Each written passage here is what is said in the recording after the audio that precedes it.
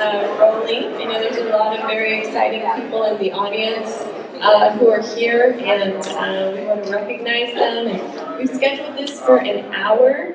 I just want to let you know if we don't get to all the questions by the end of the hour, uh, or all the comments by the end of the hour, uh, my staff will still be here. We'll be able to take some questions. Uh, first of all, I. Um, I am so honored to introduce Sheriff Salazar, and he has offered to lead us in the Pledge of Allegiance.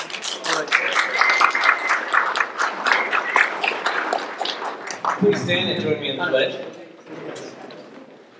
I pledge allegiance to the flag of the United States of America and to the republic for which it stands, one nation, under God, indivisible, with liberty and justice for all.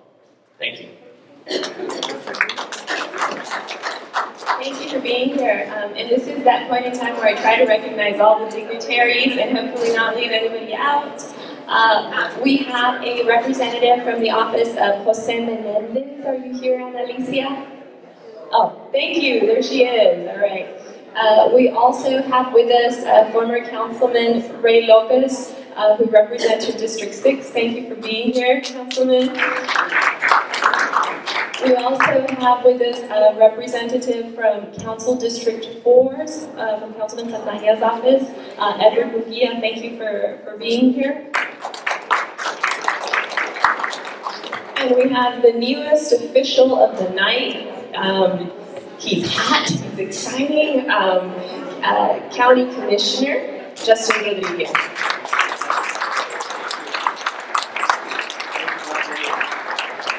Thank y'all very much. Um, thank you, Councilwoman uh, Sandoval. She does a great job, and she's been a great partner uh, in my old office as state rep, and I know she will continue to be a great partner in the newest office, which is county commissioner. I'm very excited and honored.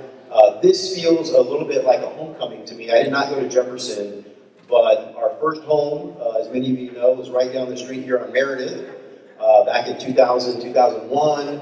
And then from 2002 to 2004, I was, had the privilege of serving as the Jefferson Neighborhood Association president. I see plenty of familiar faces. Uh, anyway, I just wanted to come by simply to say hello, good evening. Um, I'm excited about the opportunity to continue serving you in uh, county government now as county commissioner. Uh, for those that live in my old house district, which was 125, I know this is uh, this is TMF territory here. Uh, but but uh, for those that live in House District 125, there is a special election coming soon uh, to replace me. Uh, that is February 12th. Um, I know Councilman Lopez is one of the candidates. Uh, so please make sure you uh, circle that if you live in the district. Um, it is going to be probably a very low turnout affair. so the more the merrier we can get to get to come out and vote.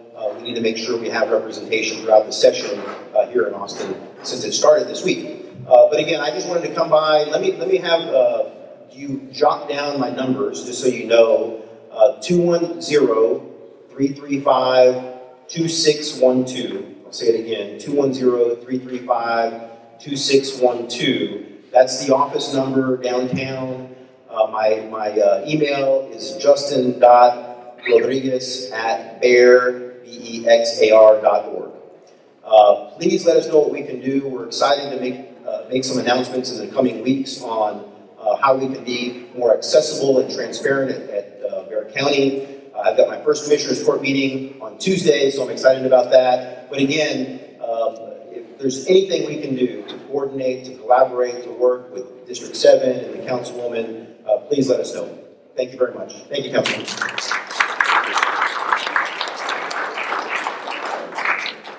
All right, he was quick and efficient. Thank you, Commissioner, uh, very much.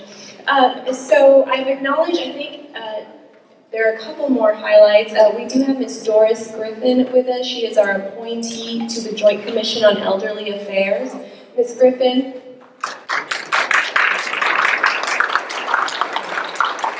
Thank you very much for joining us tonight. Uh, we also have our appointee to the Bond Oversight Commission is here and that is uh, Councilwoman Elena Guajardo, right in the back.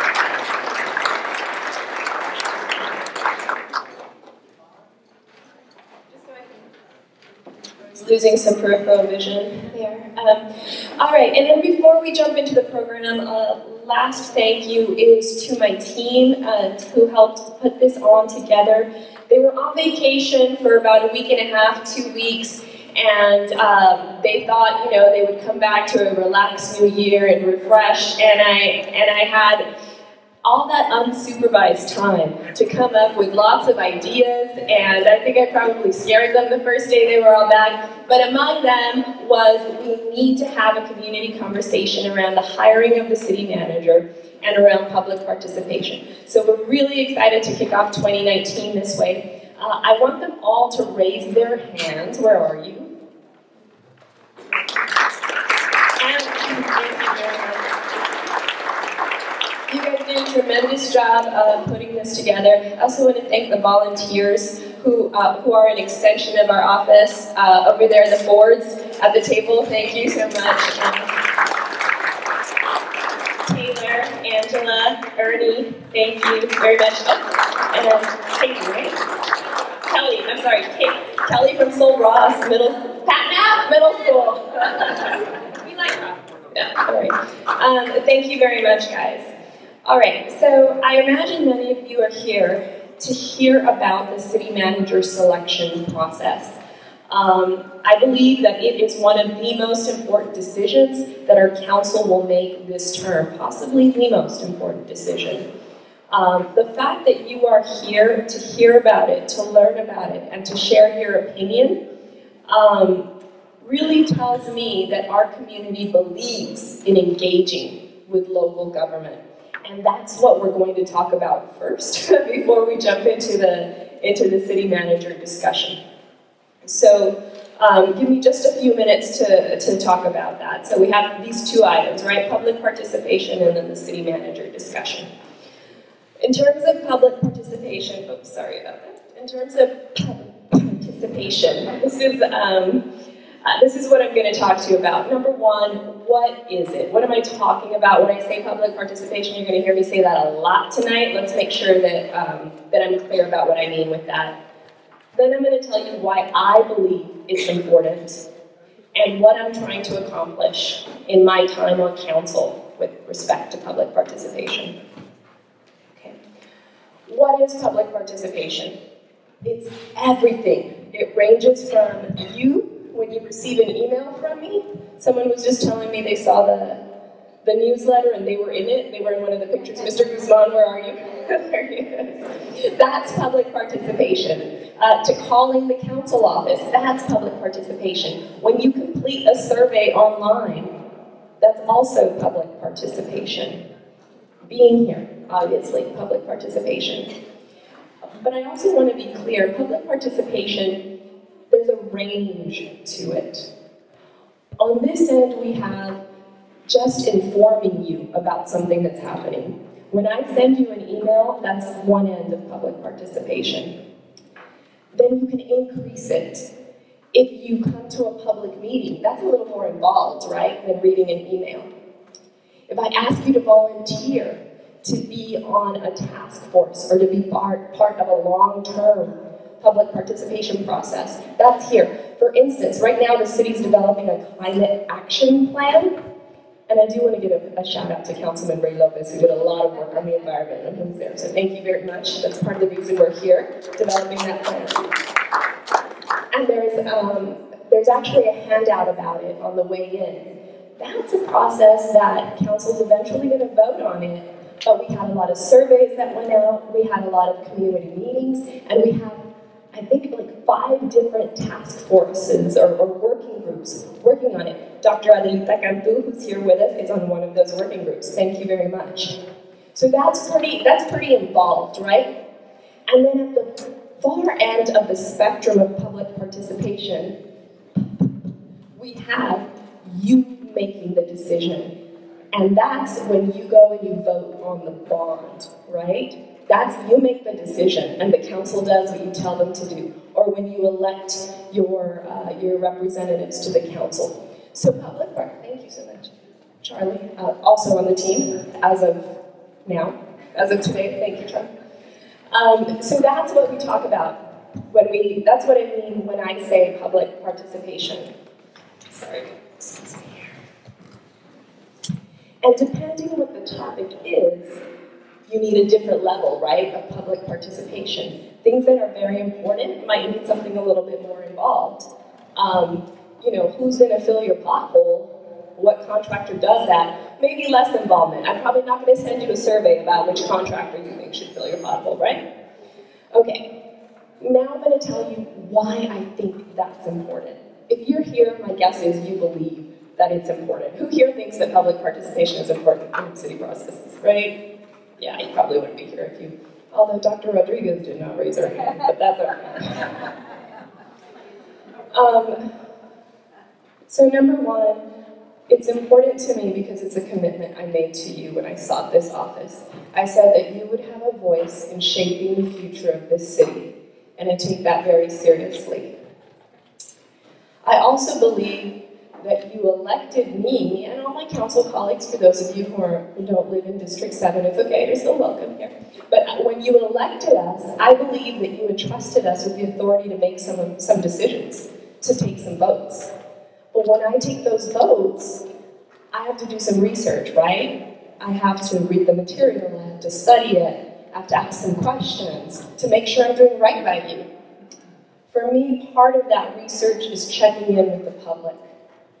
I can't do it for every single vote I take, that would be absolutely impossible. But for instance, for the selection of the city manager, yes, I think it's important that I check in with the public on that. Sorry, I don't know why I'm out of breath.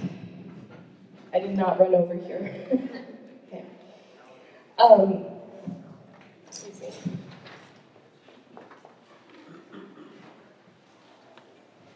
I am so sorry that I didn't remember what my next speaking point was. All right, here we go. Um, so some people uh, here may think, or in other places may think, public participation, oh, that's just when you hold a public meeting and you check a box. Um, has anyone ever heard someone say that or, think that that's what someone might think public participation is? Right. I'm here to tell you that is not what I believe, okay? I believe that you, as members of the public, actually bring valuable knowledge. You bring insight. Thank you. You bring insight to the processes, to our decision making. You're the expert in living in this city, right? Because you live here. Uh, you know whether or not the drainage works on your street. You know whether or not there's a dead cat on the on the street, and whether there isn't enough shade at the park. And that's why, if we hear from you when we make our decisions, I think we can have a better product. So for me, that's really the goal of hearing from the public, is having a better outcome. It is not checking the box for me, okay?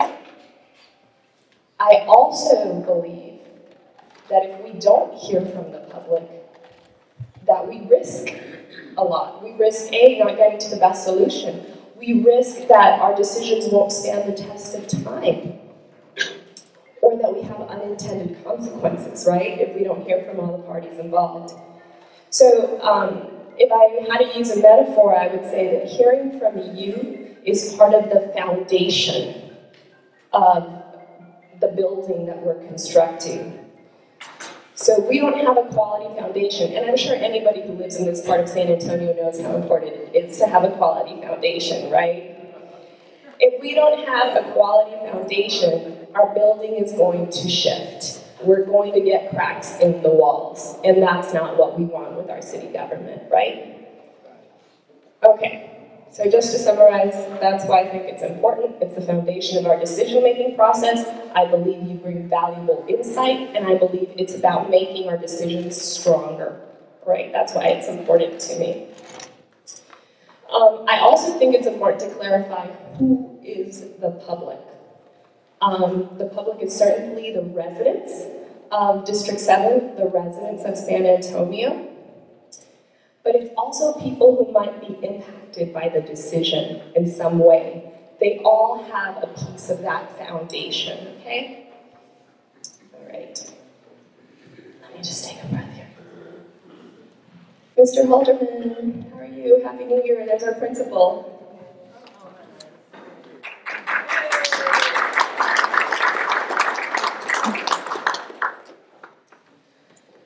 I should also mention, it looks like we're being recorded.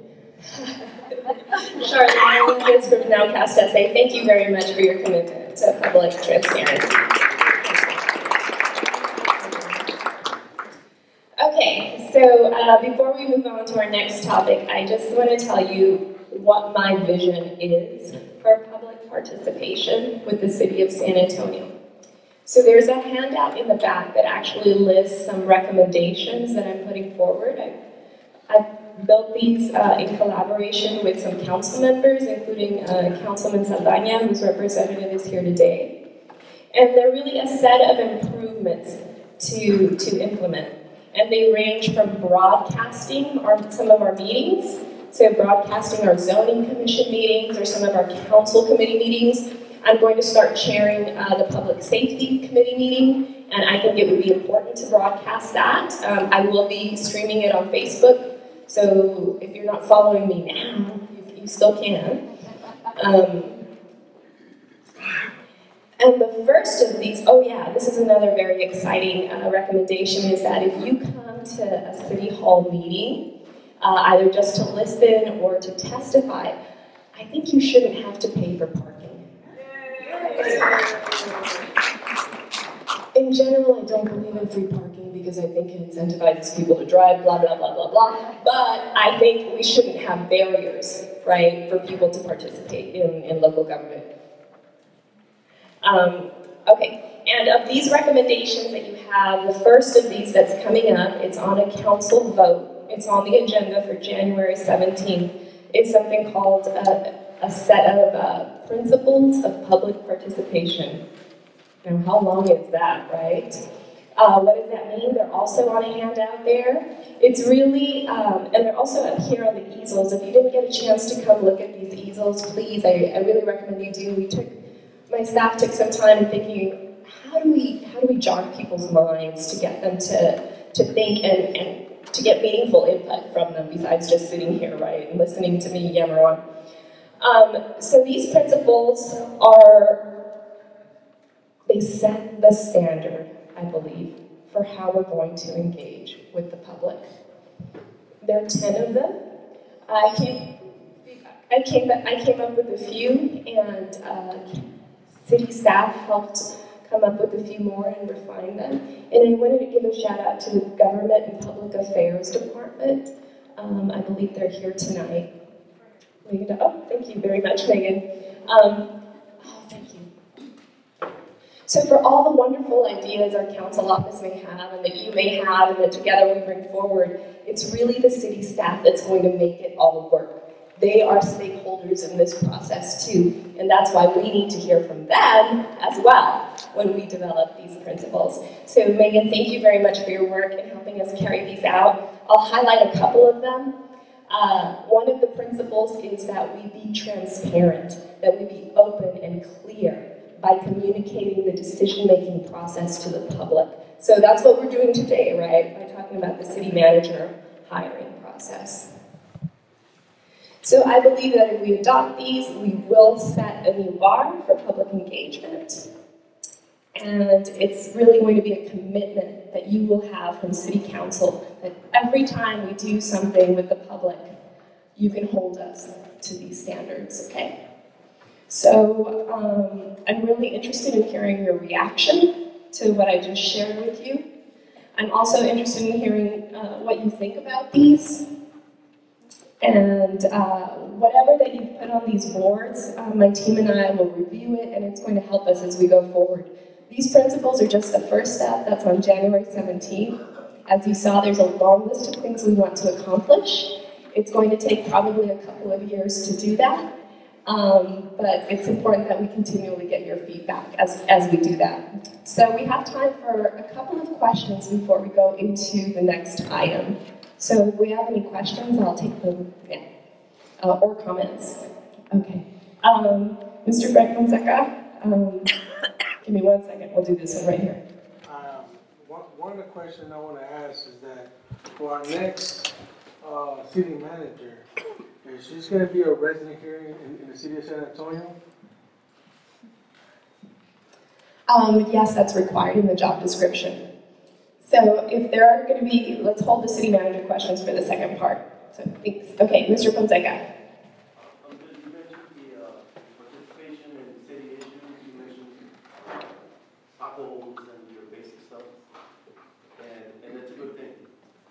But when it comes to your real stuff, like your tobacco twenty-one, and your city council passing laws that all businesses shall provide sick leave to their employees, which is against the law.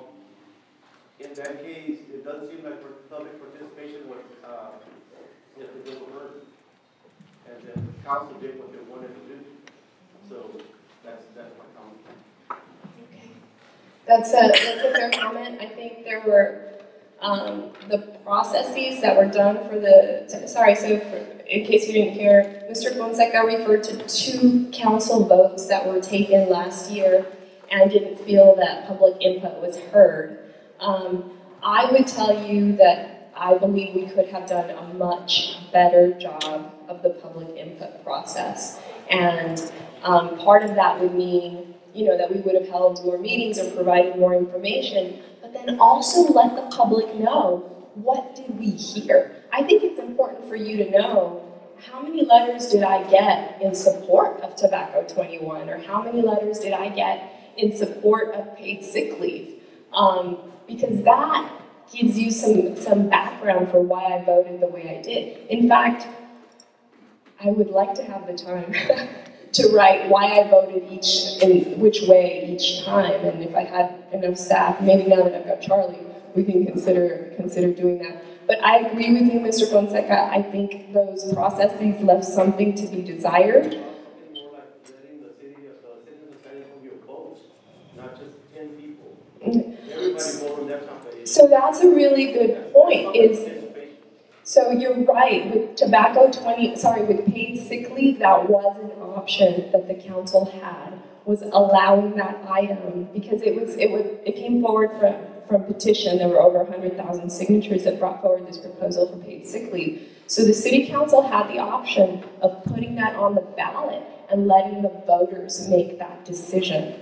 And the council decided, decided otherwise, but that was absolutely an option. Are there any other comments, Dr. To comment on the principles, and I'm not sure if there's one word that would describe it, but one of the things as a uh, faculty member, sometimes I think it would be helpful if we started growing civic engagement, public participation from school age on. So I don't know how the city council can be involved in ensuring that the public participation happens really, really early in schools and that becomes part of the curriculum. But yeah, again, I don't know what one word would be, but I just want to put that out there. to- So, um, I put, or we put, I didn't write these by myself, okay? Inclusive, engage a broad range of stakeholders, um, with particular emphasis on those who do not normally take part in city public participation processes. So, uh, make every effort to ensure that stakeholder groups do not feel left out of the process. I think, I think this principle may capture that spirit in that. Um, we, so I think we're, we're writing down the suggestions and Megan Dodge is here also taking, uh, making note of it. Um, I think that's, I was just saying, I think when we see the stakeholders, we think about us. oh, so maybe something a little more explicit in here. Um, youth, elderly, oh, okay. All right, thank you. Thank you very much for that suggestion. Mr. Soto? Well, that, to add, that neighborhood associations, Okay. home rule become, begins at the neighborhood. Did y'all hear home rule begins at the neighborhood association level? All right, take that away, future state representative. Um, I, I think that's a good point. Um, we probably want to strike a balance, right, between how explicit we want to be. Um, because I think we could list all the stakeholders as an addendum. Um, but, uh, but I, I respect your feedback, Mr. Soto. I think that's a good point. So we're getting close to 7:30, and I'm going to go ahead and transition to the next item, which I think many people are, are here to to listen to. Um, so first, I I have because I because you probably get tired of hearing the same person talk at you for an hour, and because we have other experts in house, I have asked Ms. Liz Provencio, who's uh, right over here, who's a District 7 resident and has been on the city attorney team for um, a number of years to help us with the next section. I'll say a few words about her. She is the first assistant city attorney, and she's been with the city uh, since 2016. Her day-to-day job is making sure the city operates within the law. She keeps us out of trouble. Thank you, Ms. Provencio. And that means she manages a wealth of knowledge of the city organization. She has very graciously agreed to talk with us tonight about the city manager's role and responsibility. She will speak to what is actually in the city charter regarding what the city manager is actually responsible for, for doing by law. And then um, after she wraps that up, I'll come, I'll say a few words, and we'll, we'll start our dialogue. So thank you very much, Ms. Provencio.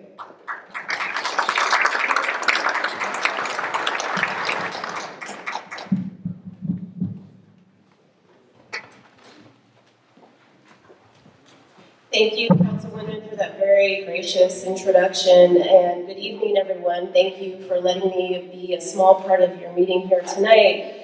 And as the Councilwoman mentioned, I am from the City Attorney's Legal Department, and so we have almost 60 lawyers that work on behalf of you day in and day out to make sure that um, the 12,000 employees and the number of, of contracts and ordinances and other issues get addressed timely and appropriately day in and day out. But today specifically, I'm here to address what our charter has set out for purposes of the role of city manager, to give a backdrop um, to what is an appropriate expertise and candidacy for applicants for this position. And our citizens adopted a council manager form of government. So our charter has in section two set out that we have a council manager form of government. So what that means in day-to-day practice is you all, as the citizens and stakeholders of this city, elect your representatives through the council, um, like our councilwoman, and then those representatives select a manager. And the manager is effectively the CEO, the chief executive officer for the city, who administers the policy that is set by council. So council, on a day in and day out basis, is focused on the big picture policy objectives that are going to be going forward. And once they enact those into ordinances, it then becomes the job of the city manager to execute those on a daily basis and to ensure that those policy objectives are carried out and fulfilled. And so to get granular, what we mean by, you know, they enact local legislation, they set, they adopt the budget, they set the tax rate, and they determine the policy and appoint the manager to execute that policy. So if you think about it as a, a parallel to a corporation, you all are the shareholders that elect the board of directors, which is effectively our council, who then, like a board of directors, appoints a CEO to carry that operation out day in and day out. And so, with our city manager specifically, the charter reflects an enumeration of duties that that person is afforded. And so, they're required to enforce all laws and ordinances that are passed by the council. Um, for us here in San Antonio, they supervise 12,000 employees. So your city government is comprised of 12,000 employees, which amounts to 40 different departments approximately. And so with that, the city manager exercises the administrative oversight of all of those departments to ensure that the things that need to be done on a day in and day out basis are effectively carried out. And that's everything from public safety with your fire and police departments that report to her, to our uh, capital improvements, to our government affairs. Um, so all of those departments fall within her lane to get things done day in and day out with the council setting the policy direction that effectively sets the goals for that day in and day out activity. So, of course, as that chief administrator, um, the manager will advise council and give input on the topics that they are interested in. So the example that the councilwoman walked through tonight is about public participation. And so her policy objective obviously is to strengthen that, enhance that, make that much more robust and meaningful. And so we're tasked as city staff then to help support that initiative, help generate the ideas, find those options to be able to provide to her so that she and her colleagues can then determine the course of policy that's going to govern effectively how we operate day in and day out. And so that's an example of, of how it comes to fruition. And just to give you some, some examples of how it effectively plays out in addition, um, so you know that we, in our budget process, we have, um, through council direction, have adopted the equity um, evaluation through budget priorities.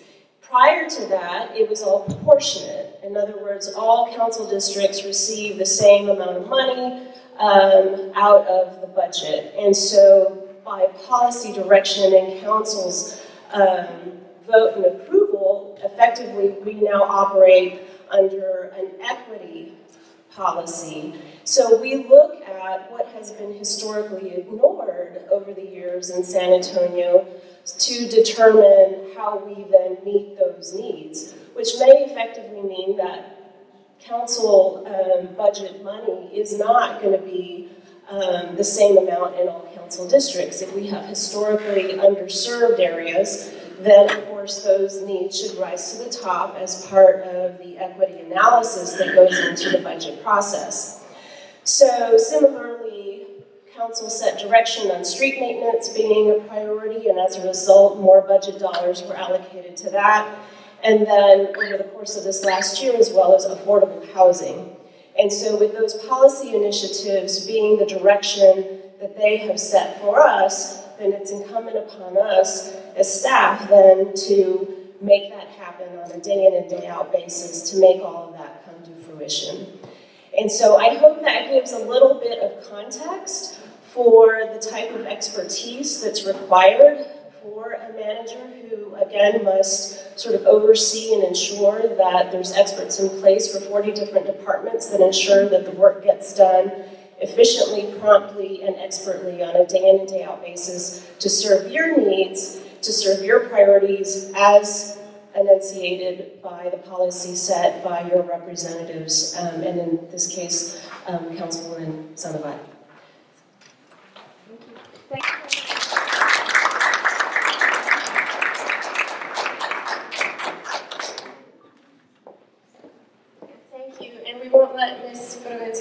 Because I imagine uh, we'll have a variety of questions that'll come up uh, that will uh, that will share in responding to you.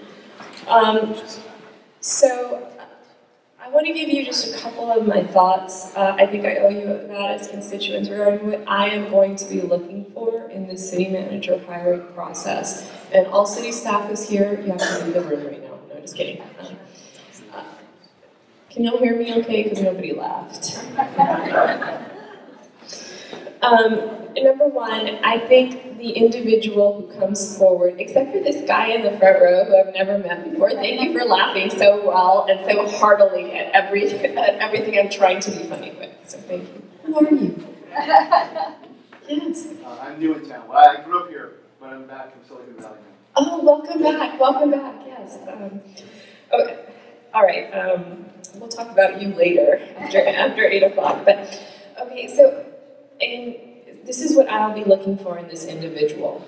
I think there are going to be three key constituencies that this person has to work with. And one is the community. And by community, I mean you, the residents of, of San Antonio, whether you just came back from Silicon Valley, whether you grew up here, you've lived here your whole life. The community. I believe they have to work with the council, right? Because the council is ultimately going to be the boss of, of this individual, the, the managing body of them. And I believe they have to work well with the staff as well, right? They have to be able to be an effective boss. So what I'm looking for is the skill set that, indicates you can do those three, they will be able to do those three things. How am I gonna look for that? The first thing that I'm going to look for is absolutely technical competencies. The city's an organization, like Ms. Provencio described, with over 12,000 employees. The budget is over $2 billion. This isn't the minor leagues. We are the seventh largest city in America, and whoever comes forward has got to be able to have the technical abilities to manage an organization that big. Um, and to and to manage it deftly, you know, um, with expertise, not struggling with some of the basic things like making sure we continue having, you know, garbage service. Um, so that's what I'll be looking for on the one hand. Now, we may be the policy body on council, um, but we can't scrutinize every single little thing, right? With 12,000 employees, over 40 departments, we can't. So I also want to really know where do the passions of this person lie? Where do their convictions lie when it comes to being a public servant? Because I believe that if I have a certain policy direction and if you're more or less aligned with me, you might do a better job implementing it because it's something that you that you would want to see implemented. Now granted, whoever gets hired, or even Miss Sculley today, right? She may not agree, or I may not agree 100% with, with um, her ideas, and she may not agree 100% with mine, but she knows that it is her job to implement them, and she will take direction from the council to do it. Um, but I still, I still want to know where that person lies, right, on that. So, um, in particular, the issues that are going to be of importance to me are transparency and public participation. Where does this person lie on, on that? What ideas will they bring forward in terms of making government more accessible? Um, customer service. What ideas will they bring forward in terms of um, improving customer service? And dealing with some of the biggest challenges that San Antonio has today. I also want to know what they think are the biggest challenges. Maybe they have they can identify something I haven't, but for instance, I think some of our generational poverty is one of the biggest issues that we have today. How what role is there for the city to play in that?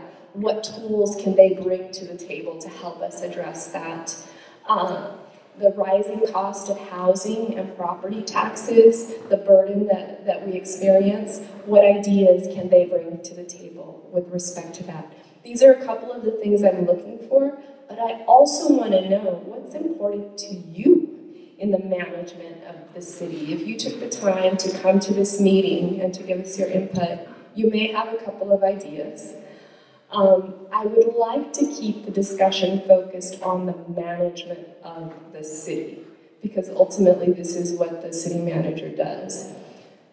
She will, she or he, right? We don't know she or he will also be in the public. I, I expect them to be out there to be listening. I expect them to be out there to be explaining processes. I don't expect them to be giving, you know, policy direction out there, but I also want to know how they're going to engage with the community. How will they do in this setting?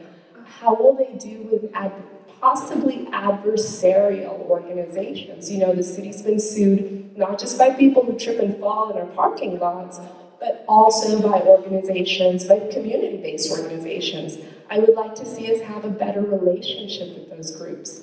So that's why for me it will be important to see the candidate or final candidates interact with some community organizations and in the public. How many of you have, um, have had to take a test when you, when you had a job interview? Anybody here? Oh, the rest of you had it easy, right? Or you made your own job, right? Because you're your own boss, right, Drea? Um, it's the same thing, right? I want to see how that person performs uh, carrying out some of the duties that they will have to carry out as city manager. And that's why I think it's important to see how that person performs in public, in a community setting, because that's going to inform my decision. So it's kind of all over the place, but those are my, edit that out, don't um, those are some of my thoughts on the selection process that I will be going through uh, with my colleagues. Again, I'm not the only person making this decision. There, there will be um, nine other council members, and of course, the mayor making this decision. The timeline for the hiring process is in a handout. Um, starting tomorrow, the council will sit down in a special meeting and review the resumes. We'll decide who comes back for an interview. Those interviews will take place um, starting the week of January 11th. I anticipate we're going to have, the schedule says we're going to have a couple of rounds of interviews. And the idea, the goal is to make our decision by the end of the month. Um, I think that would be great. I, um, I would not like to see a long disruption in services, so I think it's important to, to move deliberately. Um, but I also think it's important to stop and listen, right? That's, that's one of the things that we do with public participation. It's not free, it takes time, it takes money, um, but I, I absolutely believe it's worth it in, in this case. So those are really, that's really all I have to say. I think at this point, uh, Bianca will come up and uh, take notes up here, and we're, we're here to listen to your comments. Uh, and if you have any questions on the mechanics of this process, um, Liz and I are, are here to, to respond to those. So, thank you.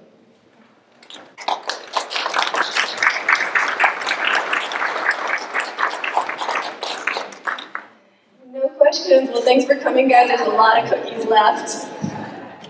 Dr. Rodriguez. I would like to stress that in the, these are very good principles, but one of the important ones that is left out is having government be honest and ethical and to hold government accountable. Uh, That to me is so important. That's why I serve on the mayor's uh, charter review board on ethics reform. And looking at for a city manager, that to me is critical, that she really understands the importance of ethics in government. And uh, otherwise, there will be no trust in government. Thank you very much, Dr. Rodriguez. Um, Ms. Grace Rose. Hi. Um, I, I just have a question on District Two. Will they be participating in all the interviews coming up and, and all that? So, um, very good question. That was probably the second most important decision, if not one of the most important decisions that this council took. Uh, today, we, so the question was, will District Two, the new appointee, uh, representing, uh, District Two of San Antonio be participating in this decision? Yes, they will be. Um, today, we appointed a new person, but they did not start working today. They will start working ten days from today. Uh, so they will come in after the finalists for interviews have been selected at that point. But they will still be part of the interview process. So if you look at the timeline, they come in just in time for the interviews, but they won't be able to say, interview this person. Does that make sense? It's a little odd. Mhm. Yes. You start interview, you start interviews the eleventh. Is that Oh, that's a great question. Um, I did, and I was incorrect. I apologize. Um, the interviews will be held January 16th. That's a, is that a Monday? Um, yeah, so the District 2 representative will vote on this. They will come in 10 days from today. Some of the interviews will have already taken place at that time. Is, I mean, is there, there a reason not to, like, um, hold off until, start the process so that they can be part of it completely? I think it's unfortunate, I mean, that's a whole district, and I wouldn't want that to be on my district, that, you know, my representative wasn't part of it until the, the vote. I mean, it's sort of after the fact. I, I think that's a really, really good question. It would take a majority of the council to, to change the, the timeline. The timeline, the, the council came to an agreement on it, came to consensus on it uh, in late November and early December. So, so let me tell you what I think can happen. What, one way that we can make sure District Two is part of the process. We do know that the representative will vote on the final selection. Um, the District Two council person has access to every single council person who is there. Um, this happened, this happened to me. Uh, I was elected on May sixth. I did not take office until June first. And there were some decisions that were making, that were being made between May sixth and June first that were going to affect District Seven in the future, right? So I was able to speak to the council members and tell them what my preference was, and they weighed that in when they took the vote. It is informal, right? It does not go on the record, um, but it does allow for input from the District Two representative. So they, they will have access, Councilman Art Hall will have access to all the applications and we'll be able to review them and we'll be able to be present in all the public meetings, right? He just won't sit at the dais, but he will be present and hear the dialogue. And he can, he can give us his, his comments. He just will not, this is actually a better question for the attorney. Grace, does that, does that answer the question? Um, yes, but I, but when you all decided on this schedule, was it prior to Cruz giving his resignation? It was, uh, Councilman Shaw gave his, uh, notice to resign, um, I believe the last council meeting of the year, right? Liz, was I, I don't, I don't know. It was. Yeah, yeah, it was after this, it was after this. I, my just last comment is, I would hope that you all would consider the fact that, you know, they, they should sit at, the what's ten days? When it's such a big, um, decision, uh, for us in terms of a city manager. And I feel that those people should have the right to be at the table. Thank you very much. That's, uh, point well, point noted. Thank you. Dr. Duncan? I just had a question where it talked about Proposition B, and it talked about a supermajority. And, and what would that be with our makeup of city? I'm gonna hand this one over to, Okay. it'll be nine. It would have to be nine. Yeah, it'll be nine, it'll be nine, and so we'll have the, we have D two in place, so we'll have the full council that will be participating. So not just a simple majority, it would have to be the, it would have to be nine. Correct.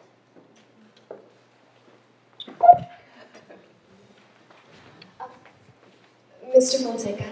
Uh, I'm just, I'm just, I'm just uh, comment, I think the selection of the city manager would have been better served to the city, citizens of San Antonio, if it would have happened after the May elections for city council.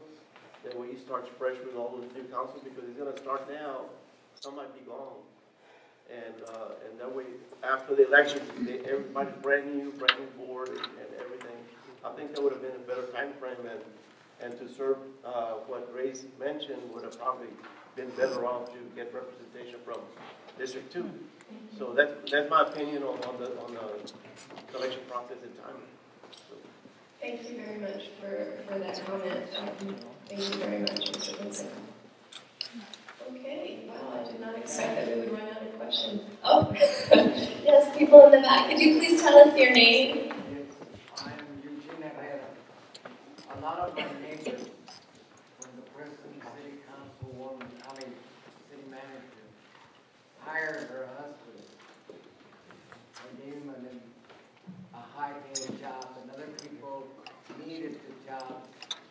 Why was not the council objected to? And what is the constitution of the, of the city in regards to the manager hiring her own spouse to be he or she? There should be a limit as to, not to do it, a lot of people, including when you were running, did not want to vote they were angry because the employment of the spouse. Yeah. And, uh, I've always said, the people have a voice to give. And maybe you, but why didn't the council or the charter say something about that? No, that's a, that's a very good point. I'm gonna go ahead and but turn it over to the attorney for, for the, and I'm unaware of any employment by the, the manager's husband. I understand he worked for the county, which is separate from the city, but we, he worked for the county, not for the city.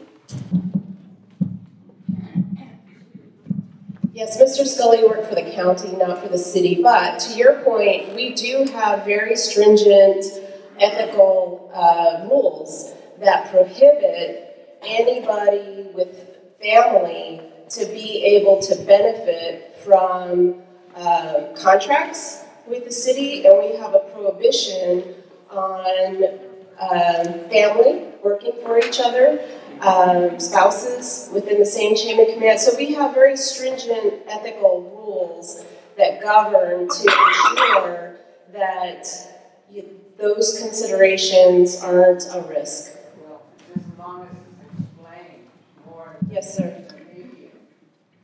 Which is why public information is a very important part of the whole spectrum of public participation, right? The guy from Silicon Valley is laughing. Thank you. Um, exactly. Just being able to communicate critical information goes a big way in, in building public trust. So thank you. Um, yes. Well, the person there had already said, mentioned it, that are you going to try and hire somebody locally? Because this was brought up from outside. An outsider, she brought in the outsider police chief. And I understand that her husband's position was made up just for him. And he was at a starting salary of over ninety thousand or a hundred thousand at the time. They never had mentioned anything about him. But she, but she brought him up and, and they had to make a new position for him. Okay, so the, um, again, a position at the county perhaps, I don't know the history of how that position uh, came, came to be. Um, so the question is, are we going to consider hiring someone who lives already in San Antonio or is from San Antonio, or what if they left and came back? I don't know, is that a consideration too? Um, versus someone who, who is from outside of San Antonio. Um, the job was open to both. We had we had 31 applicants. 12 of them met the minimum qualifications. Six of those individuals work in the city of San Antonio right now. Six of them uh, do not work in the city of San Antonio right now. And uh, I may need uh, staff to back me up on this, but of the six who do not work in the city of San Antonio right now, are all of them from another city? We have one who was, a- who was it, one? We have one who, if not two, who worked for the city at one time. I think of the twelve, it's only one. But he's in Dallas now, I believe, or Arlington. Um, so you're asking if that's something I'm going to be looking for as, as a requisite. I think, I think it would be ideal if we could give the job to somebody who's already a member of our community because it's one of the best jobs in San Antonio, right? And I would want to see someone from San Antonio succeed and have the opportunity to have that job. That said, I'm not going to sacrifice the quality of services that you're going to get just for that. Now, granted, I actually have seen the applications, and I think I think they are all tremendous applicants, and that they could all do a very good job. Um, but I think you're also speaking to is this person going to bring the values that we have, right? Is this person really going to understand how to work with our community? Uh, and I think that's very important as well. And I will be looking for someone who can do that. So, thank you. I think there was another question in the in the back. Yes, uh, Colin Jones, thank you, Councilwoman, for hosting this. Uh, quick question about the city manager. Is there a mechanism in place so that, say, eighteen months from now, he or she isn't, something's going hinky? Is there a mechanism in place for, for that person to be replaced? What does that look like? Does the citizen have a voice in that? Who's responsible for that? Is it council? Is it a special committee? Who, Um, who evaluates them, etc.? Right, so they will be, he or she will be evaluated by the council, they do report to us. Um, it will depend on how we draft that contract. He's asking, is there a probationary period? It will depend on, yes, and that's a great question. Um, so, so just in case you guys didn't hear, the question is, hey, if things aren't going so great and we want to kind of pull the plug on this, what, uh, what mechanism is there for, for doing that? Yes? Well, and, and even with that, is there, with there, is there a mechanism for every, say, year or so, there's an evaluation? Uh, you made, someone made reference earlier to this person being, being a CEO or something along those lines. Mm-hmm, right, right, right. So that, that continual evaluation, so that that person is the best employee that they're able to be, everything's copacetic, stuff like that. You know, I think you're bringing up a really great point. I have been so focused on making sure that we get the right person for the job that I have not started to think about, and so I'm glad you bring this up. What are those terms of employment going to look like? Because let me tell you, Miss Sculley has one contract. I don't want to emulate that same contract. It doesn't give the city, uh, a- I want to make sure that your council has the authority to do what they need to do. Um, so we will, we will, uh, applause, applause, applause. Um, we will make sure, um, I will work to, to put some provisions like that in, in that contract.